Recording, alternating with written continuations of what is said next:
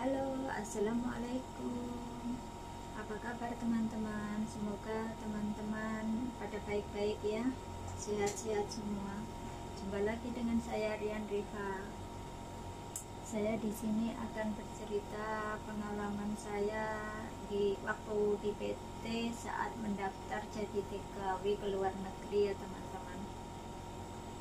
uh, waktu itu saya daftar di PT JSKB JSKB itu singkatan dari Jatim Sukses Karya Bersama. PT-nya di Surabaya ya teman-teman. Mungkin mungkin ada teman-teman yang sept dengan saya. Saya akan cerita sedikit pengalaman saya waktu masuk PT itu uh, waktu belajar bahasa tujuan negara saya teman-teman ya. Karena tujuan negara saya Hong Kong maka saya harus belajar bahasa Kantonis. Sungguh lucu sekali pengalaman saya waktu itu teman-teman. Lucu di mana ya? Karena menurut saya karena bukan bahasa kita ya menurut saya itu aneh dan lucu gitu. Kalau bahasa Inggris kita itu kan bahasa internasional ya. Jadi menurut saya waktu di sekolah kan juga juga sudah mempelajarinya. Jadi nggak nggak nggak nggak merasa aneh dan lucu gitu ya. Uh, kedengarannya tuh sangat aneh gitu. Diajarin sudah nggak bisa-bisa. Ya maklum memang bukan bahasa kita ya terus uh, waktu itu uh, belajar bahasa Kantonis saya kurang lebih di PT itu tiga bulan teman-teman. Ya Alhamdulillah belum sampai tiga bulan itu saya sudah berangkat jaga job saya itu jaga satu nenek. Uh, CC-CC di PT itu pokoknya ya mendidik mental kita itu harus benar-benar kita itu harus gimana ya nanti sesampai di tujuan negara itu supaya kita itu benar-benar mental kita itu sudah sudah kuat gitu ya. Jadi ya bagaimana kita harus benar-benar siap mental?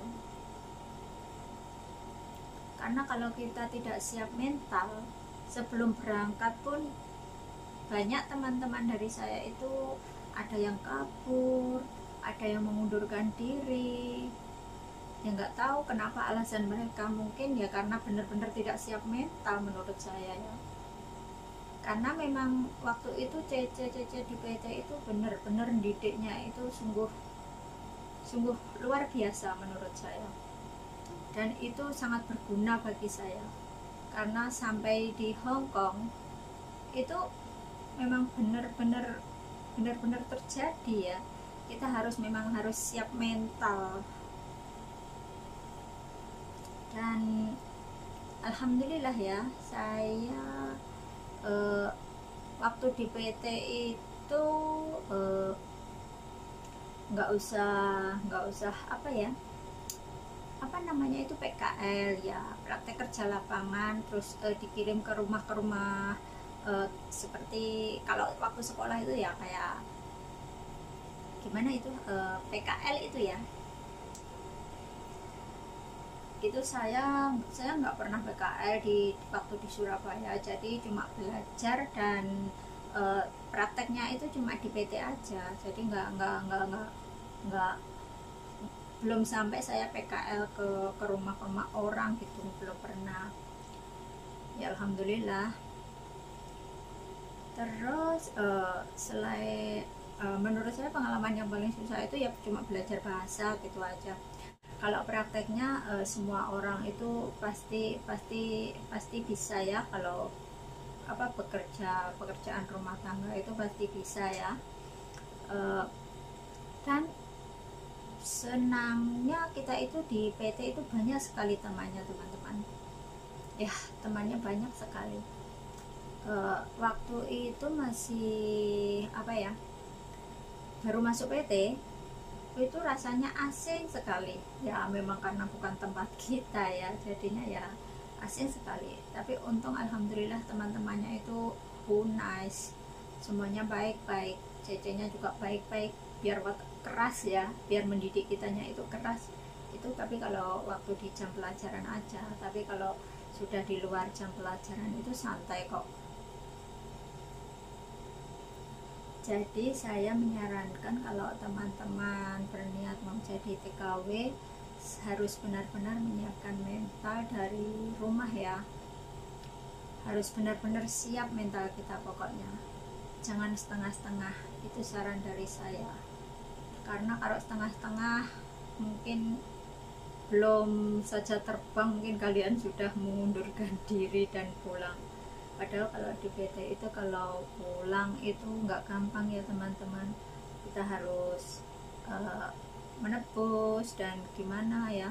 Pokoknya nggak gampang kalau mau pulang aja. Jadi kalau memang berniat dan ingin pergi ke luar negeri jadi TKW harus benar-benar siap mental dari rumah. Itu pesan saya ya teman-teman terima kasih. Semoga uh, pengalaman saya ini bermanfaat untuk teman-teman yang mau mendaftar jadi TKW kalau suka like share dan subscribe ya teman-teman. Terima kasih. Assalamualaikum warahmatullahi wabarakatuh